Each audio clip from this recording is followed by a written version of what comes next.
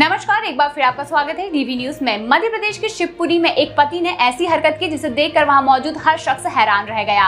एक महिला परीक्षा हॉल में परीक्षा दे रही थी, तभी उसका पति अचानक से परीक्षा हॉल में घुसा और उसने अपनी पत्नी की उत्तर पुस्तिका को फाड़ दिया। ये देखकर पत्नी फूट फूट कर रोने लगी। इस शख्स की यह हरकत देखकर परीक्षा हॉल में मौजूद लोग सन्न रह गए। ये पूरा मामला मध्य प्रदेश के शिवपुरी का है। जिस महिला की कॉपी उसके पति ने फाड़ी, उसका नाम आरती लौधी है। आरती का कहना है कि उसका पति उसे परेशान करता है, इसलिए वो उसके साथ नहीं रह रही है। अब उसने परीक्षा हॉल में आकर यह हरकत की है।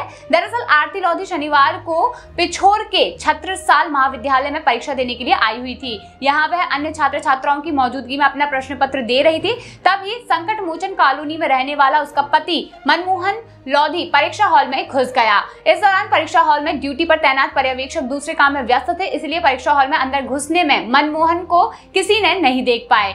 इतने में ही मौका पाकर उसने अपनी पत्नी आरती की कॉपी फाड़ दी। इसके बाद मौजूद शिक्षकों ने उसे पकड़ लिया तो उसने टीचर से कहा कि अपनी पत्नी को पढ़ाना नहीं चाहता हूँ। कॉलेज प्रबंधन ने इस पूरे मामले की सूचना पुलिस को दी है। इसके बाद पुलिस मनमोहन को पकड़कर अपने साथ ले गई। ये पूरा मामला शिवपुरी में चर्चा का विषय बन गया है।